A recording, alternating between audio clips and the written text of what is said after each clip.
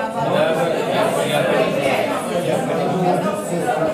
понимаю, но в то же время я даю точку для того, чтобы кто-то подтянулся к этому и меня